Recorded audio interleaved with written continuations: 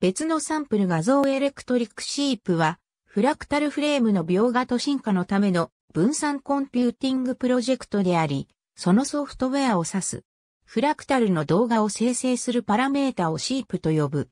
シープは Electric Sheepのメーリングリストのメンバーが作成し、またメンバーが既存のシープのパラメータを使って描画する。シープをサーバ上で自動的に複数結合させることもできるし、サーバ管理者が手動で結合させることもできる。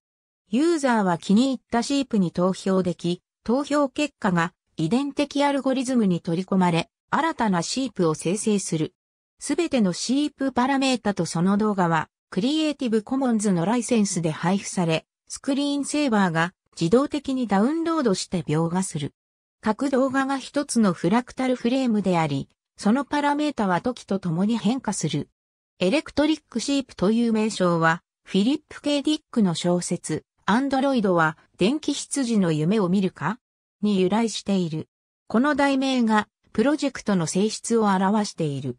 すなわち、コンピュータが暇になると、スクリーンセーバーを起動し、フラクタル動画を描画するのである。